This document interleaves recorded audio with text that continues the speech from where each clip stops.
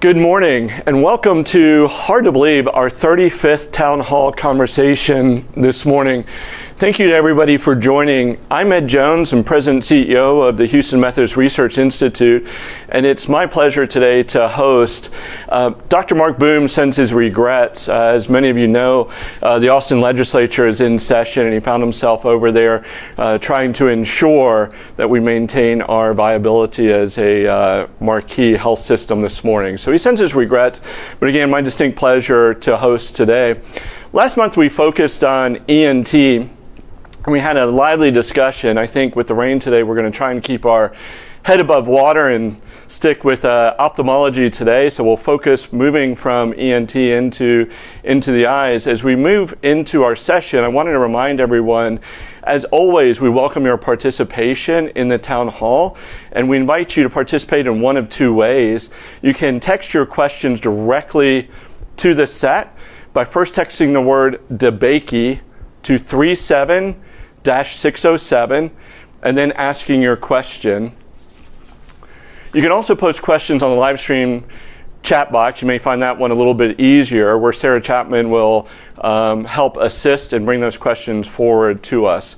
And so, with that, it's my pleasure to introduce Dr. Andy Lee, who is the chairman of the Department of Ophthalmology at Houston Methodist and the Blanton Eye Institute, to kick us off this morning. Hello, my name is Andy Lee, and I'm the chairman of the Blanton Eye Institute at Houston Methodist Hospital. And on behalf of Houston Methodist Hospital's Department of Ophthalmology, I'm pleased to introduce to you your speakers for today from our department, Dr. Amina Malik and Dr. Rahul Pandit. Dr. Malik is the director of our oculoplastics and orbit service and is a specialist in oculoplastic surgery, which involves the lid, the orbit, and the surrounding structures. And Dr. Malik completed her college at the University of Akron in a record amount of time and went on to the University of Cincinnati, where she did her residency and oculoplastics and orbital fellowship. As the director of our oculoplastics and orbital service, we're very pleased to have Dr. Malik with us in the Houston Methodist Hospital Methodist Eye Associates, as well as our Blanton Eye Institute. And I think you'll enjoy her presentation today.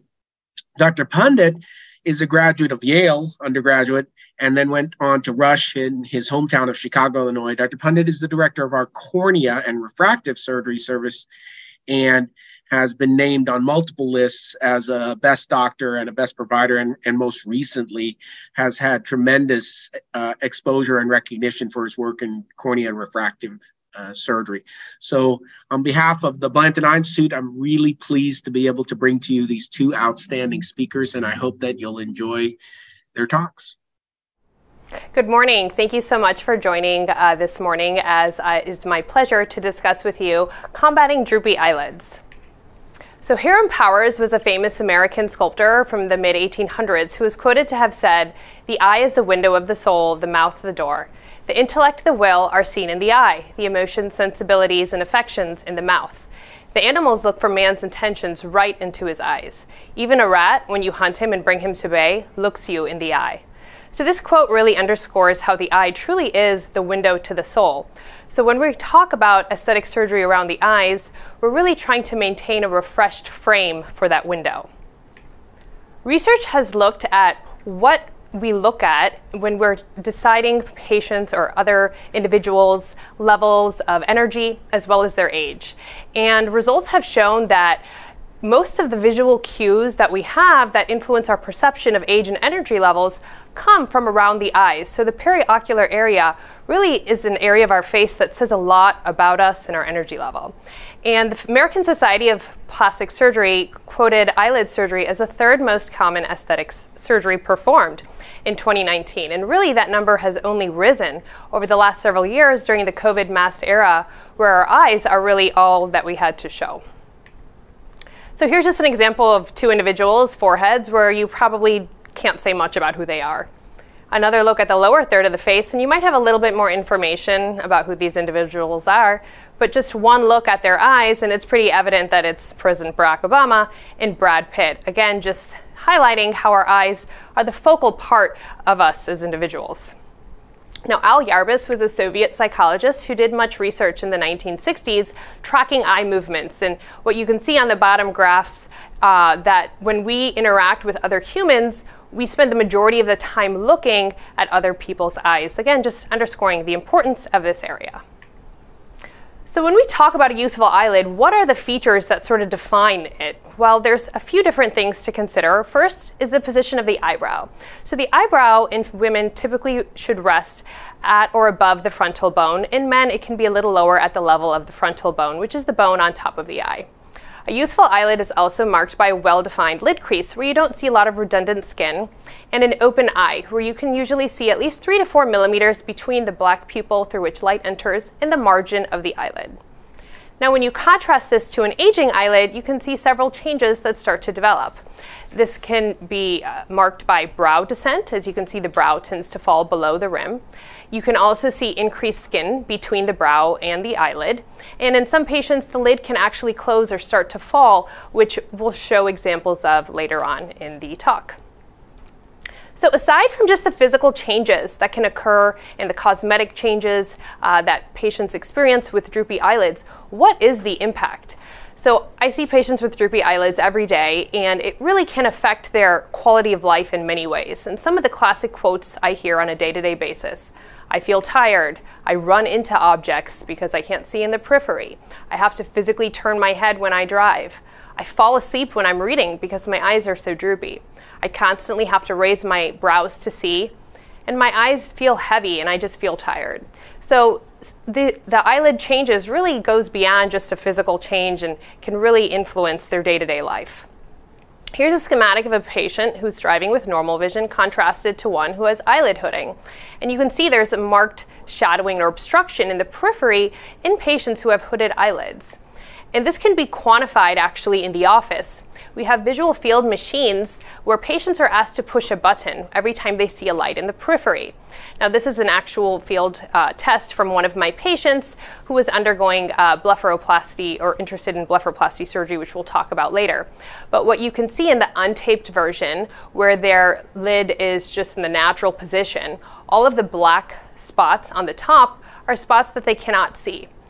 The test is then repeated with their lid physically taped up to their forehead, and you can see that the black spots have now disappeared, and, it can, uh, and the patients can actually see. And this is really done to show insurance companies the effect of the droopy eyelid on patients' vision and quality of life.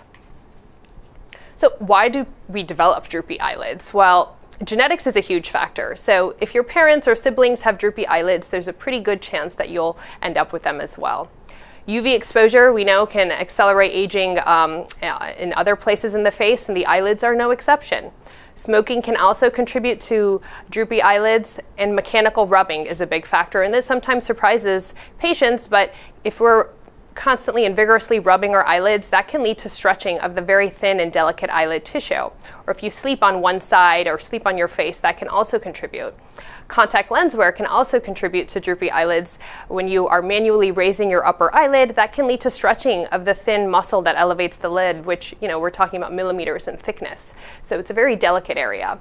And then, of course, the inevitable aging process uh, contributes to this as well. So then there's the question of what actually is a droopy eyelid.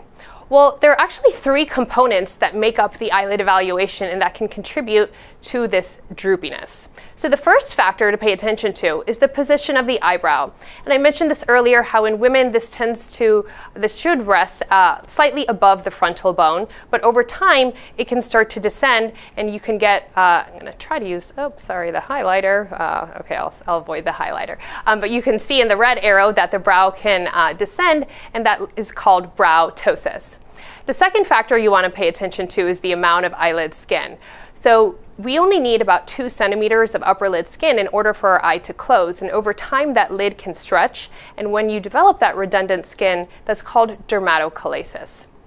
And the third component is where the eyelid actually rests on the eye. We saw in the earlier photographs where you can see several millimeters between the pupil and the lid margin. But uh, due to several factors over time, sometimes patients can develop eyelid ptosis or eyelid closure, where again the colored part of the eye is being obstructed by the lid. And so each of these three components have different treatment approaches. So we'll talk about each of those, starting with the brows. So again, um, this is a gentleman who you can see the brows have fallen due to age-related changes with the descent and deflation of some of the soft tissues. And if you look to the um, picture on your left, the, uh, it depicts some of the muscles that are important uh, to the brow position. So the frontalis muscle uh, is the muscle that elevates your eyebrow, and that's um, often what patients recruit to help see when they have droopy eyelids. So they'll constantly be raising their eyebrow by way of the frontalis. And you can see that the muscle kind of ends near the tail of the eyebrow, which is why a lot of times the tail of the brow descends more than the central part of the eyebrow. In addition, there are brow depressors, which uh, contract our brows and uh, cause that furrowed brows. Um, and those are called the corrugator and the procerus, and they live in between the uh, eyebrow area. So how do we uh, treat brow ptosis when we have this? Well, those brow depressors can come into play when we talk about non-surgical options uh, via Botox, and this is considered a chemical lift.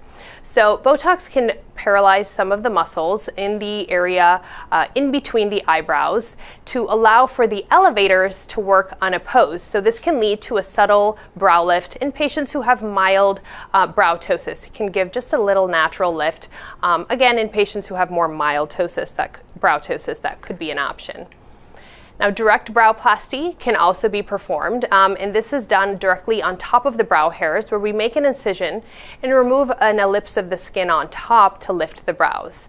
Uh, this patient also had eyelid surgery, but the best candidate for this type of surgery would be someone who has thick eyebrows where you can hide the incisions or might have some pre-existent forehead wrinkles so that the incision is not noticeable. So patient selection is really important when we talk about how to raise the brow. We can also do a pretrichial lift by going in front of the hairline and tunneling down to raise the forehead. We can also perform what's called a transbleph browplasty, where we use the incision from the eyelid, uh, which we'll go into detail a little bit later, um, and can put a tacking stitch to sort of secure the brow, the tail of the brow up to the bone back where it belongs. Um, and a lot of these before and afters are also combined with eyelid surgery, but you can see uh, the different approaches to the brow lift. And then endoscopic brow lift is a great approach where, uh, which is minimally invasive with scalp incisions that are hidden in the hairline and using an endoscope to tunnel down and raise the brows up to their natural position to help uh, raise the lid as well. As, as we saw earlier, the lid position is very dependent on the eyebrows. Now, what about dermatochalasis or the extra eyelid skin? So this really is my bread and butter surgery, and uh, their, their mainstay for treatment of this is called a blepharoplasty. So this is an in-office surgery, 20 to 30 minutes, and it's a one-week recovery where patients to just limit their physical activity. And in terms of longevity, it should last a minimum of five to 10 years, but over time, the lid can restretch. And so, how is this done? Uh, well, the most important step of this surgery is the lid marking.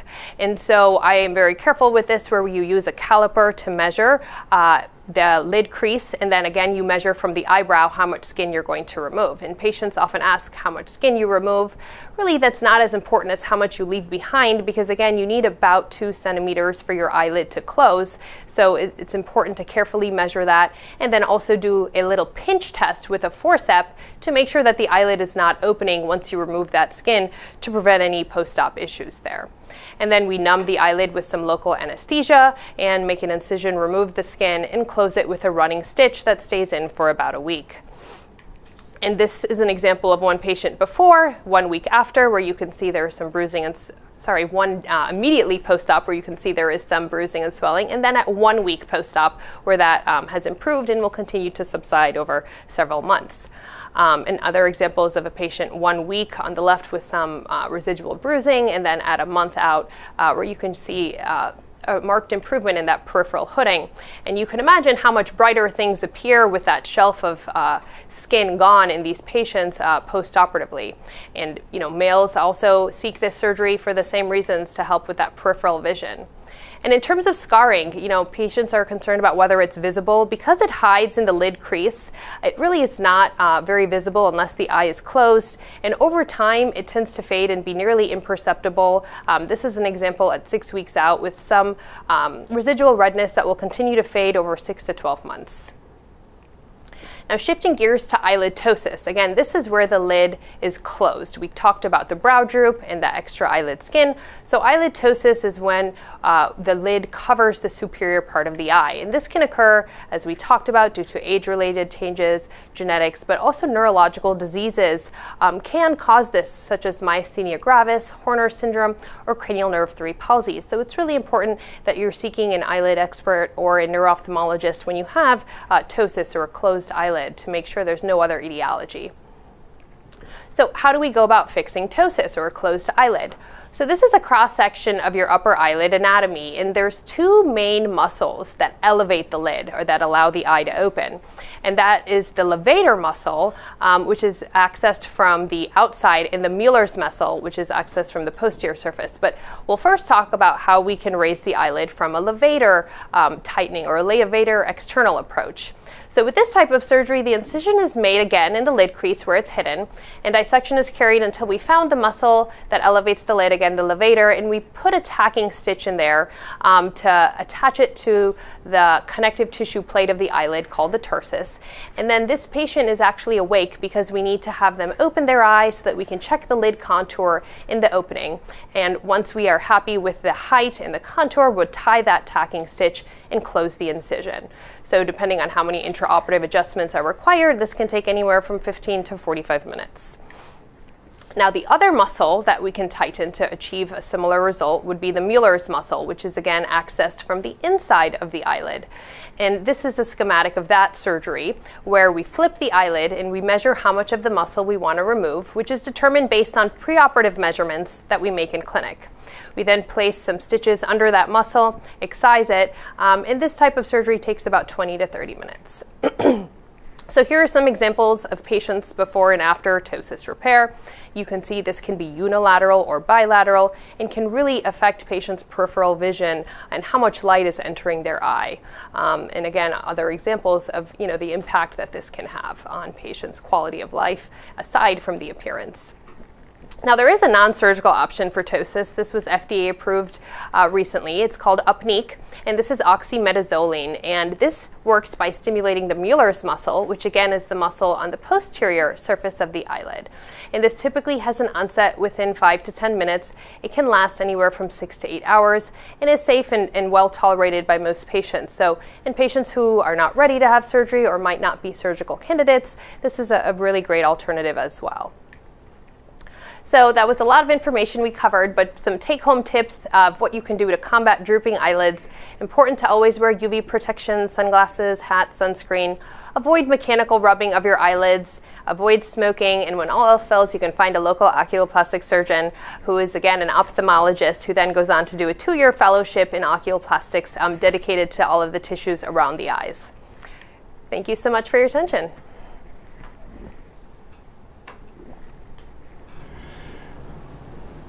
Thank you, Dr. Malik. That was a brilliant overview. Um, we've had a few questions that have come in, but I think we'll hold questions at this point, um, and turn the floor over to Dr. Pandit, who will give us his overview, and then we'll have a chance for questions afterwards. Wonderful. Well, thank you, Ed. It's a pleasure to be here. Thanks for inviting me, and it's great to follow Amina um, from her talk. We're going to shift gears quite a bit now to the area around the eye to the actual eyeball. And as uh, our chairperson, Andy Lee, had introduced me as a cornea specialist, part of the area that we cover in general is the front of the eye, or as we say, anterior segment diseases. And conditions and surgeries, of course, and part of that is cataract surgery. So today I'd like to take a bit of a break from the cornea and focus on cataract. And you'll see why the two are actually related. Um, cataract surgery in this day and age is an outpatient rapid surgery with a quick recovery 99% uh, of the time, no needle, no stitch surgery. That's how we tell our patients about it, and that's kind of what their expectations are. Cataract surgery improves visual functioning dramatically and quality of life. We have plenty of decades of studies to demonstrate this, and that's only improved over time as the rapid res uh, resolution from cataract surgery and healing has improved over time as well. The lens implants we use are designed to be lenses for life, so they are not meant to be changed. People who have cataract surgery can expect to have good vision for the remainder of their life, assuming they don't have any other ocular conditions that occur. Um, in normal eyes, uh, the incision is less than an eighth of an inch. Um, the surgery is just about 10 to 20 minutes. Uh, and we usually operate one eye at a time with the second eye within a week or two of the first eye so that the patient can be balanced between their two eyes. You can see that cataract surgery has come a long way. Um, this is probably the most rapid type of surgery we have currently with our 10 to 20 minute timeline. But you know, in the old days, perhaps the old couching technique, which was a pin in the eye, pushing the lens down, was a little bit more rapid, but obviously not as satisfaction, not as satisfactory for our patients. So altogether, it's a really pleasant experience with minimal pain and minimal postoperative healing for the patient. Um, why is cataract surgery like cornea and refractive surgery for me? Well, the positive experiences that we've had with our patients from LASIK and other types of refractive surgeries, which are designed to correct their vision and remove their need for glasses or contact lenses, have translated to the cataract realm because patients expect these amazing results. If you look at some of the old studies from the LASIK patients, we have upwards of 93% of patients who achieve 20, 40 or better, better vision, and 95% patient satisfaction overall with their LASIK surgery. If you look at cataract surgery, our results are not quite as good. If you look at the graph on the right or the chart on the right, you can see that we measure things by diopters of correction. So if you look at the middle yellow line, if we're off by about plus or half plus or minus half a diopter. That's like taking two turns on the wheel of the little phoropter machine that you sit in when you go to your eye doctor to get your glasses updated. That's pretty insignificant overall, and that translates to about a 2020 or 2025 visual result in our patients. You can see we're only about 71% there with all of our best cataract tools and measurement devices and surgeries now if we increase the, um, the, the, uh, the range of, of success to one diopter, we're, we're pretty good, but that means that patients could be perhaps 2030 or 2040 after their cataract surgery. So what can we do to get them to that high satisfaction rate where we're achieving um, you know, upwards of um, 90, 85, 90% of patients getting to plus or minus one or two lines of vision, meaning pretty close to 20/20 vision. Well, that requires a lot of updates to technology and surgical techniques, and we'll go over a little bit of that right now to introduce you to the realm of cataract surgery. One of the greatest advances we've had in the last 10 to 15 years has been the introduction of lasers to assist us with cataract surgery. It's funny because when I started practice 20 years ago, my patients would always ask me, Well, you do the surgery with a laser, don't you? And I'd say, I'm sorry, we really don't have that for cataract surgery. And of course, fast forward 20 years, we do. And so patients are immediately turned on by the fact that we have a high technology device to help us with our straightforward and relatively simple cataract surgery to make it even more efficient and more uh, of a rapid healing process for them. What does a laser do for me? Well, what I tell people is it makes a good surgeon great, and it does that because of a few things. One, it increases my precision. The laser incisions that I can do to the cornea help me reduce the astigmatism in the cornea of a patient. Upwards of 75% of patients have at least a mild to moderate amount of astigmatism, which is either corrected with a laser or, in some cases, advanced technology lenses which correct higher amounts. The enhanced cataract removal efficiency also helps with the speed of recovery. Uh, and then really it helps us meet our patient desires and expectations because patients really want that refractive result from our cataract surgery. They don't want just their cataract removed, they don't want to have to wear glasses afterwards. You can see the cookie cutter approach to laser assisted surgery. And that's kind of the one thing I tell my patients. If they ask me, what's the real benefit of laser? You're a good surgeon. Why do you need a laser to do what you do? I said, I don't need it, but it gives me more precision. If I'm accurate with my surgery, what I like is precision, which means I can get repeatable results. If I do this manual capsule capsulorhexis here, eh, it's, it's pretty good. But if a laser does it for me, it makes it the perfect size, shape, and diameter and centration every time around, and that helps me achieve my repeatability of my good results. The technology has improved dramatically as far as lens implants go, and this has furthered our ability to help meet patient needs. So, what do patients want? They really don't want to have to wear glasses after cataract surgery.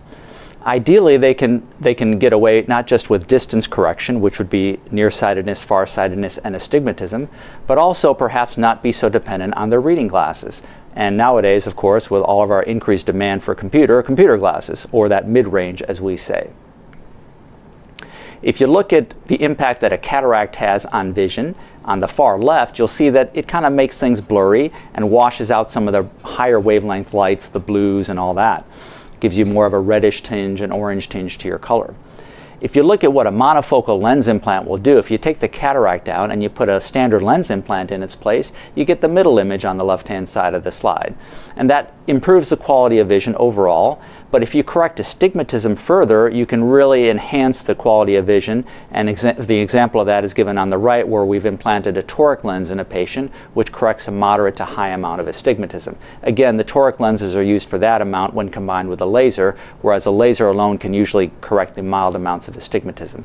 And once again, what is astigmatism? Well, if your normal cornea is shaped like a soccer ball, as you can see on the top right, you'll see that a football shaped cornea is more of an astigmatic cornea. It's oval or elliptical shape and it creates multiple or stretched focal points in a patient's vision. Some people describe their vision as uh, stretched out or, or kind of shadowy or maybe even double vision. Now, how can we improve the ability of patients to see with intermediate and near vision uh, uh, needs? Well, this we do uh, in many ways, but the, the, the, most consistent way of doing that is with what we call diffractive optics. And what are we really trying to do? We're trying to take this, uh, this focal point in their vision uh, with a standard monofocal lens where you can see kind of light focusing at one point, which is where it hits their retina and they're able to see, and kind of stretching that out. You can see that thin green band is very, uh, very strong green band here, extending over a, a, broader range. So you can imagine if light is focusing in front or behind an object, it's still going to focus on the retina, and that's how we can get people to see at dis multiple distances. Again, diffractive optics can be used for many things, and it's used in, in, in, in the industry in many ways. Um, multifocal optics uh, can be used in camera lenses, um, chromatic aberration correction, uh, even in space telescopes. It improves the depth of focus for patients, holographics, as you can see, uh, really advanced technologies like that. But this is perhaps the most consistent way that we can achieve um, uh, distance, intermediate, and near correction in our patients today. Now, again, this is not an actual lens that changes shape like a young lens. This does it through, uh, through uh, playing with optics, so to speak. In a young lens that we all grew up with, our lens was able to change shape, and that's how we could focus from distance to near. That's also the reason why we lose that in our 40s to 50s, and we develop presbyopia, which is the age related loss of reading vision. So once again, if you can take diffractive optics and you can take that single focal point at the bottom, which means that your image at distance is pretty good, but as you start getting up close, it's blurry. And you can extend that depth, uh, that focal point, so you can actually see over a broader range and gets kind of sharper focusing at distance, near, with a couple of drop-offs here and there, you can see how you can improve the quality of vision for a patient at multiple ranges, not just their distance vision. Now, nothing comes without its potential downsides. And what are the downsides of diffractive, diffractive optics these days? Well, there is a little bit of loss of contrast which fortunately is not usually noticed by our patients because they're comparing a diffractive optic lens to their cataract, which has already lost a lot of contrast. But if you compared it to a standard monofocal lens, you might notice that difference. Generally speaking, these are um, shades of gray differences which aren't perceptible to most people in their day-to-day activities. But what can be perceptible is the, the next uh, item here, kind of what we describe as what we uh, call dysphotopsias, and describe to patients as either halos, glare, or starbursting with lights, usually at nighttime. And some of the examples, really simulations, because we can't capture what a patient is seeing, are down below there, where you might be able to see a point of light which is sharply focused on the bottom left, whereas glare would appear as this kind of bright sunshine halo. Uh, and then a halo would be more like a ring around a light and then starbursting and, and, other things that you can see there as well, which have been described by some patients, and in fact, some cases drawn out very, very, very art, artfully by some of our patients to describe us, you know, what, what are some of the side effects that they're seeing. Now, the vast majority of these side effects uh, disappear over a course of three to six months. So most patients will adapt to these technologies uh, very well. And the fascinating thing is there has actually been documented evidence of neural networking or re-networking done in the brain to help a patient adapt to these lenses. And what does that mean? Well, we all look at objects all the time, we all see objects all the time, and we learn to tune in on the object that's wanted and, and, and desirable for us and tune out the things that aren't. Take, for example, floaters. Most of us develop floaters as we get older and we learn to live with them. Now, if I focus on my floater and look all the way around, I can see it and follow it, but I've learned to ignore it. And similarly, patients can do that with these. So the vast majority of patients do well in the long run with these type of uh, lenses. So what I'll take now is kind of a separate approach from that and introduce a little bit of a conversation that I give um, uh, as a designated so-called premium cataract surgeon. Uh, what we try to do is we try to introduce the, uh, the concept of what makes cataract surgery a premium process for patients. And it's not just having a surgeon do great work or having, um, you know, uh, uh having uh, lens options that, that help these patients. It's really more about a collective approach to kind of providing that premium experience. And that's what Houston Methodist Eye Associates tries to provide. And so, what I tell patients and what I tell some of our colleagues in some of the talks we do is that I take this kind of four T's approach to what provides a premium um, uh, experience for patients. Now, you have to start with technology. Uh, we have some of the greatest technology at the Blanton Eye Institute at Houston Methodist Hospital. We were one of the first institutions in the country to have an OCT enabled microscope to give us this advanced imaging to help me really fine tune some of my precision surgeries, including lens implants, refixations, and, and things like that. So uh, at the leading edge of medicine, but also at the leading edge of acquiring the technologies to help us do what we can do best for our patients. And you can see me straighten that lens out nicely in this image here, which was tilted at first. This is me trying to repair uh, a dislocated lens um, uh, and, and, try to refixate it and center it and, and, and avoid any tilt to improve the patient outcomes. Technology includes, for example, the laser I talked about. Laser guided imaging to really help us quantify the, the size and, and, and depth of the lens so we can make our, our incisions or our laser cuts into the lens as well as into the cornea to optimize our surgical correction for the patient. Once again, just to minimize their dependence on glasses and contact lenses afterwards. Uh, uh, technology to help me align toric lenses. When I have to put a toric lens in an eye, I have to be within five degrees of accuracy when I place that lens. Again, the lens is like a football. So if it's not pointing in the right direction, the patient's not going to see well. If I get it in the right direction and within five degrees, the patient will see well. And so the technology here helps me do that with what we call Callisto registration. As you can see me lining up the lens perfectly with the uh, intraocular uh, um, uh, lining axis that, that appears, which is a combination of technology we use in our clinic, which is transferred digitally um, through, through cables, of course, into our OR and allowed me to, uh, to uh, optimize my results there. Next is technique. Um, uh, you know, I've been fortunate to have some of the greatest teachers in ophthalmology help guide me and always constantly improve my technique. And I try to offer that to, to some colleagues and surgeons on my own website and YouTube channel. But the whole goal is to provide techniques that really help help uh, our patients achieve the best, uh, best outcomes. And part of this is just being on a constant search for advancements and improvements. Uh, this is attending meetings, talking to colleagues, asking for help from colleagues, asking how they're able to do something better, uh, and, and applying those techniques to our patients. Uh, doing a five-minute surgery, uh, you know, helps with uh, with patient satisfaction, pain relief, uh, and rapid rapid recovery, for example. Uh, nowadays, we have a lot of technology which really helps us learn uh, remotely, and that's obviously with the advent of the internet. Once you have that, the goal is to also tailor the results to your patients and look back at your outcomes. So when I published this study a few years ago on one of the newest advanced technology lenses, the first uh, extended depth of focus lens in the country, uh, improved in the U.S., approved in the U.S., uh, I went back and looked at our results, and with the help of my wonderful staff and technicians, who I have to shout out to in the office, was able to look at the results and kind of tweak and really hone down the results we were getting to so we could really optimize our patients, not just to that 2020 level, but really getting them even perhaps better than 2020 to the 2015 level. And then finally, it really is the team. So I constantly uh, talk about this in the OR. I always thank my OR team, but you know it starts right in, right in our practice. We have some of the best providers at Houston Methodist Hospital. Uh, I've listed all nine of them here, plus I guess me being ten. Uh, we've got a team of OR uh, folks that are great and just really love to have fun. Uh, apparently, they survived me every day as they gave me this, this fun button there.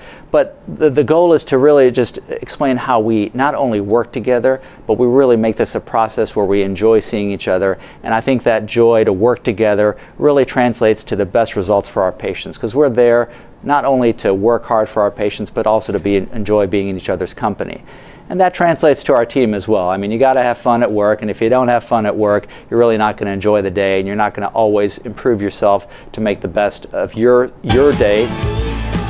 To really have fun for your patients, to have fun for your staff, but also translate to just a good, positive environment where we can constantly focus on our patients as the end result. You know, we take we take at Methodist we take uh, eye care values very seriously and um, and part of that is just an, you know acknowledging not only the the tools, uh, the the techniques, uh, and tailoring our results, but really the team approach here. And I think that's what Blanton Eye and Houston Methodist Eye Associates does very well. And I'll close out with this quote that was gifted to me by my staff Coming together is a beginning, keeping together is progress, working together is success by Henry Ford. And again, that's not just success for us, but that's success for what we do every day, which is improve patients' vision and provide them improvement in their quality of life.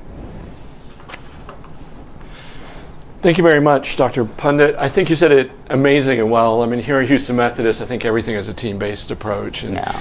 um, I think we've well grown beyond individual contributors, whether that's in medicine or science. We've had a few questions that have come in, and so um, I think I'll start with Dr. Malik and come back to our Windows to the Soul conversation. Um, one of the questions, the first question that came in, relates back to something you touched on. I wonder if you could expand a little bit more. And that is, how does fixing droopy eyelids affect vision? What can patients expect um, for improved vision? What type of vision deficiencies do you see from droopy eyelids? Sure. So, you know, when you have extra eyelid skin that's kind of extending beyond the lashes, or a lid that's closed covering the superior part of the eye, that can significantly affect the peripheral vision. So a lot of times patients have run into doors or will run into objects because they're not seeing it on the outside. Um, or when they're driving, they've gotten into car accidents because their peripheral vision is obstructed from that droopy skin. Um, now, in terms of actual visual acuity, like your ability to read font, the eyelid surgery is not going to have a huge impact on that. That's more for Dr. Pandit with the cornea and the, the lens. Um, but in terms of peripheral vision, when you raise the eyelid and remove that extra skin, you would really expect things to be uh, brighter from a peripheral vision aspect and just to be able to see more around you. Yeah, fantastic. So it really opens up your field uh, of view there. You know, one of the questions, and, and this one, if, I, if I can add oh, to that, Ed. Of course. So one please. other actually great corollary with Amina and my work is when I see patients and I look at a mapping of their cornea, which looks for astigmatism, mm-hmm. and I see a real steep area up on top, I ask my, my um, technicians, do they have ptosis? And inevitably they do because I can see it on the pattern of the cornea. I'm not looking at their eyelid, but I'm looking at their cornea mapping. So a lot of cases I have to send a patient to Dr. Malik to get lid surgery done so that it can improve their topography so I can better plan for the visual outcome from their cataract surgery. So it actually really does have a direct impact to what we do to help patients' vision as well. Fantastic. Coming back to that concept of team once That's again. Right. Mm-hmm.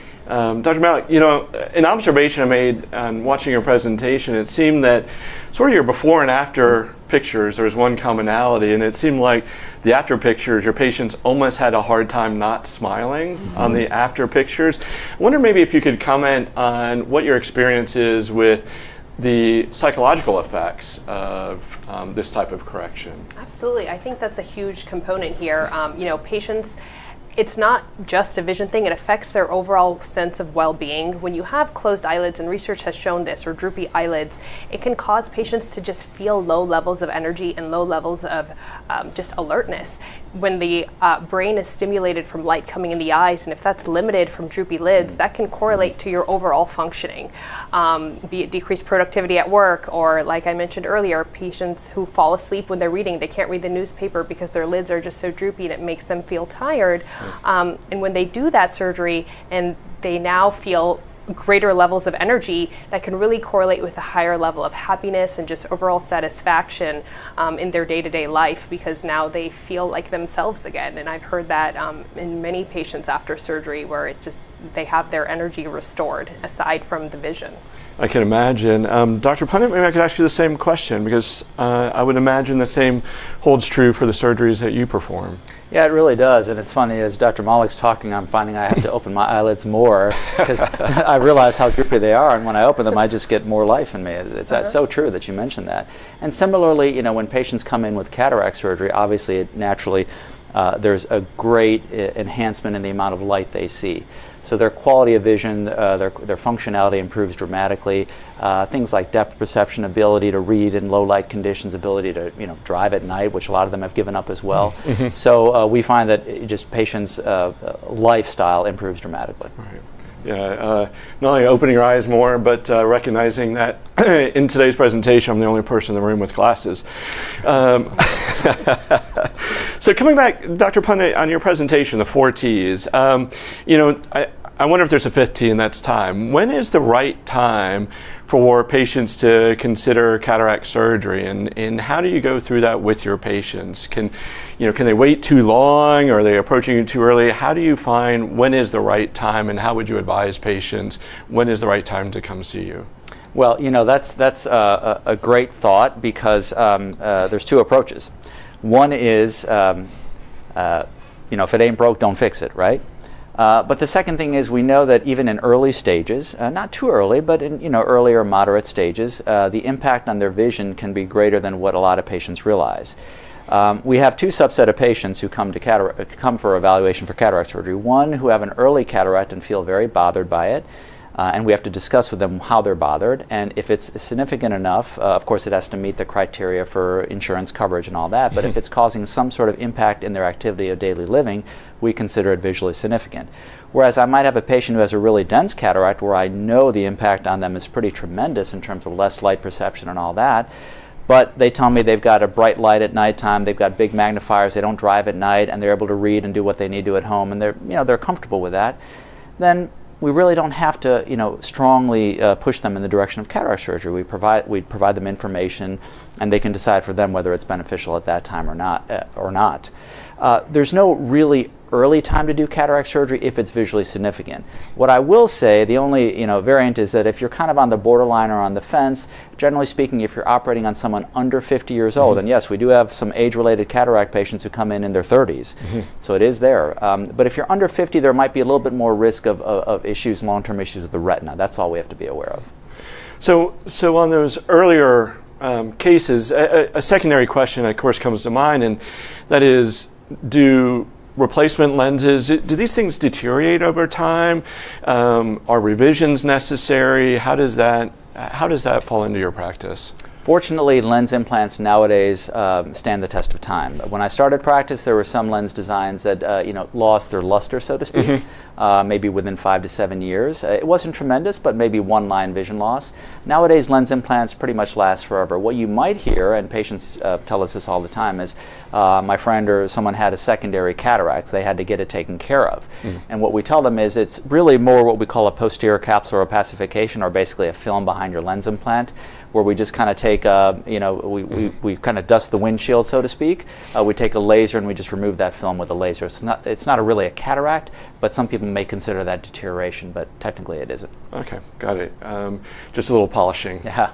Fantastic. Uh, Dr. Malik, maybe I could ask you the same question. I mean, mm-hmm. in, in your practice, um, how often do you see revisions or needing to do a secondary surgery, and what are the what are the reasons behind that that you see? Sure. So, you know, in general, I tell my patients that eyelid surgery should last at least five to 10 years, and sometimes it can last longer. It really is mm-hmm. individual, dependent on their rate of aging and how much mechanical stretching is going to continue to occur. There's no way to sort of, unfortunately, stall that permanently.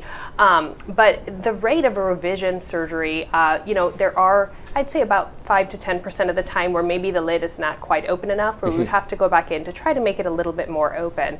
Um, you know, luckily uh, the eye being too open is a risk from the surgery, but in my practice, I've almost really never had to go back in to lower an eye that's too open um, because it's always easier to go back to make it more open than the opposite. Uh, so in general, that risk of revision is low. Um, it does exist, and then for repeating the surgery, it can be done. So if that skin does restretch mm-hmm. over a 10-year period, um, you know, 20 minutes in the office, and we can just remove some of that extra skin again. You mentioned in your uh, presentation there was at least one alternative to surgery. Are there are there other alternatives to surgery? You know, for the upper lid droopiness, mm-hmm. there's not a lot out there. Um, you know, for lower lid um, redundant skin, there are some good mm-hmm. laser options, but for the upper lid, it's very thin skin. It's right. the thinnest skin on our body, um, so we have to be careful with using some of the um, fractional laser devices on the upper lid. So not something I typically recommend. Not too much. Okay, fantastic. Um, I'm checking the screen real quick. Oh, we had a, a, a new question come in a, a little bit um, beyond the initial presentation, but question regarding floaters. Um, maybe could you speak to that a little bit more, um, Dr. Pandit? You know, floaters, what causes them? What can be done about them? So floaters are uh, nuisances. In most cases, they are just nuisances and nothing uh, indicative of any disease. So that's the first thing to tell everyone. Um, floaters come in the vitrio, uh, in the vitreous, which is about four fifths of the back uh, of the eye, the volume of the eye. It's in the back of the eye, behind the lens, uh, and it's a territory that's usually managed by vitreoretinal specialists or retina specialists who do retina surgeries. Um, the floaters are a natural aging process of the eye. So if you think of your um, the jelly in your eye being kind of firm and hard, and as you get older, it goes from that nice thick hard jello mold to kind of a melted, kind of warmed up jello mold, and it starts to shift around and move around, and within it you see some of the collagen fibers condense. So that's what floaters are. Um, typically, people get used to them. In some severe cases, uh, or in certain patients who are very observant of their floaters and they're right in the center perhaps in their vision, mm-hmm. uh, there are potentially options to take care of them. Uh, some people do tout lasers. Um, there's a lot of debate on that. Generally, that's frowned upon by the retina specialists that we use, mm-hmm. Uh, including our own retina specialist, um, uh, Dr. Davis. Uh, uh, there are surgeries that can be done as well, vitreoretinal surgeries, or basically a vitrectomy, mm-hmm. which is their bread and butter surgery, similar to my cataract surgery. Um, uh, those have their pluses and minuses, so in certain severe cases, those can be done. And the interesting thing is, uh, we've realized in the last few years with some of our really advanced technology lenses, what would be typically considered as mild floaters or vitreous syneresis, which is kind mm-hmm. of a mm-hmm. filminess, fogginess in their vitreous, can actually have a significant impact on the quality of vision with some of these advanced technology lenses. Mm. So there is some thought about perhaps operating on some of these patients that we may not have earlier. Mm. Interesting. From my own experience, um, I, finding myself being perfectly average in this conversation, uh, floaters from time to time, I always find myself the hardest thing is to forget about them. Yes. Like once they pop up, to, to get to a point where you can just kind of forget about them, let let the, uh, the let the brain overcompensate for that. Um, in your presentation, coming back to the T's, I'm curious. Um, you presented some really interesting technologies. Uh, maybe you could speak to what do you see coming down the pipeline? What do you see new technologies? Where do you see advances of, in the field that are getting you excited? Well, the holy grail, so to speak, for lens technologies is a lens that actually can change shape, or two optics in a lens that kind of move back and forth and create sort of a kind of a, a, a lens that, that is able to truly focus or a truly accommodating lens, as we mm-hmm. say. Uh, that would be amazing. Uh, there have been a lot of advances in that field, and none of them have come to fruition, uh, other than just you know clinical trials. So uh, we're still waiting for that. Mm-hmm. Um, but mm-hmm. in terms of diffractive optics, I think we've kind of come as far as we can in terms of the quality of vision and the improvements in, in full range of vision. Mm-hmm. Uh, in terms of uh, you know uh, lasers and other approaches, you know it would be nice if we had a laser that could actually completely neutralize a lens, and then a way to make an incision in the lens where we could kind of soften it up and just suck it all out. There has been some thought about that again in, in early clinical trials, which mm-hmm. hasn't come to fruition. So if we could truly do that and perhaps even in the future do an injectable mold type of lens, which could fill that bag up, that natural uh, capsule of your lens and mm-hmm. fill it up, and then that mold could actually change shape, that would be amazing. Uh, those are technologies that are you know, thought about and worked at at lab levels in some clinical trials, uh, but nothing that's really come to fruition yet. Yeah, it seems Seems a little complicated. Yeah. Very good. Uh, let me check to see uh, other questions that are coming in. Let me ask a question that's on top of my mind. So I, I, come from this from a little bit more the research side of the equation. Um, both, and I'll put this out to both of you, remarkable clinicians. I can only imagine incredibly busy practices. Um, you must have tons of ideas that you want to answer, right? Questions that need answers. Um, how can we help you with that, um, with your practice? Because this is always part of Houston Methodist is not just great clinical care. We're an academic medical center, and so we have to be able to pursue new inquiry ourselves. So, you know, with those questions and trying to manage a busy practice and get those questions answered, um, how can we, Houston Methodist, help you with that?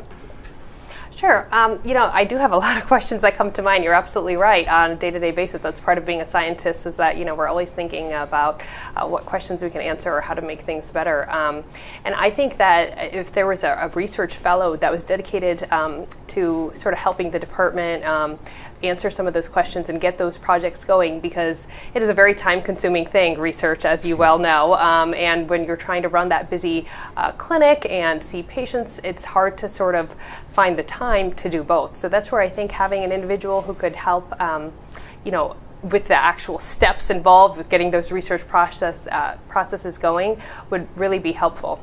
All right, fantastic. Yeah, I mean, I couldn't agree more. Just having warm bodies to help and have an interest, and then you know do some of the work that we just really don't have the time to. Right. Occasionally, if I have a resident um, that you know is able to dedicate time over their second or third year, and able to look at data, even just do some great retrospective studies, which you know can get as recently as January published in some of the top anterior segment journals in the country um, you know, that's great. But how many times do we get a, a, resident who's that motivated and able to take the time from their mm. daily work as well? So having someone, you know, on the ground to really show an interest in multiple areas of ophthalmology would be fantastic. Right. Well, it, it, sounds like we, we certainly have a need, and it sounds like you know we are Houston Methodist. We're in Houston, the uh, I think the most generous community in the country, and so I think maybe we have an opportunity to see what we can do philanthrop- philanthropically to maybe raise some funds and see if we can get a research fellow or figure out how to be enablers for you to uh, to maybe solve some of these questions that you have. Um, let me take a pause here and um, and just ask for any final thoughts from our presenters. You know, I tried to. Uh, raise questions that have been brought in, a couple of questions I had, things that I wasn't smart enough to ask this morning for you. Um, you know, I think I just want to thank everyone for your attention. Um, it really is a pleasure and a joy to be um, doing what I do. You know, they say you don't have to go to work if you enjoy what you do, and I feel that way every day. Um, it's it's a Methodist is a wonderful place to work, and it's been very satisfying and rewarding to have my career here. Um, and you know, appreciative of the team that we have built at uh, Methodist Eye Associates. It really does take a team, as Dr. Pandit mm-hmm. talked about, to get the job done. Um, so very grateful for all of their support and for the patients who put their trust in me every day um, so that I can do the job I love. Yeah. Wonderful. Dr. Pandit? Well, well said. Hard to follow that. you know, I, I, agree completely. And also, you know, what I would tell uh, patients, uh, like I tell my friends who ask me about XYZ or ABC, is, um, you know, when you seek eye care, uh, you know, feel comfortable with where you're at. Um, you don't have to come to us. Uh, we want you to have the information, and that's part of what this is about. Once you have the information, then you're you know, well armed to go to your surgeon or your optometrist who's going to refer you to someone and just be well informed. And that's the most important thing. If we can provide that service to the people in the community, that's what we want to do. And if you happen to choose Houston Methodist as your provider, hopefully we can provide you the service that you're looking for as well. Right. Well, Dr. Malik, Dr. Pandit, I'd like to thank you on behalf of Houston Methodist. You know, I always walk away from these things really invigorated. I mean, how lucky are we to be in Houston, to be at Houston Methodist, where we have world class clinicians, we have the ability to support them academically. Um, and when we say taglines like leading medicine, it's not just a line, it's actually what we do every day, and really just uh, inspired by the work that both of you do. So, with that, I'd like to bring this to closure. Um, I want to remind everyone that next month, um, hopefully we'll have uh, Dr. Boom back for our 36th uh, town hall meeting. Um, that meeting will be focusing on tissue engineering and lung transplantation. Should be a, a, very exciting presentation. There's a slight change in schedule next month. It'll occur on a Wednesday uh, at 10:30. But please look for the invitation and register early. Uh, until, then, please stay um, safe, healthy, and happy. Thank you.